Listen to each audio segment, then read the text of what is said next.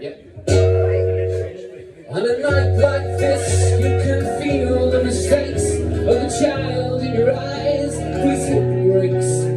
Cause now seconds have gone and I'm fading away. But I refuse to go quietly where I plan to stay. It might be a fact that we're too indiscreet. But I'll hang my hat on the company I keep. Oh, I'm happy, man. That's the everything really well. Yeah, thanks.